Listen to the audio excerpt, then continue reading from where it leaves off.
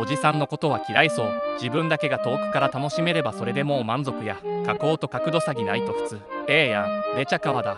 一ノ瀬。ちゃんね。めっちゃ可愛くてドキドキです。わあ。ご褒美画像だ。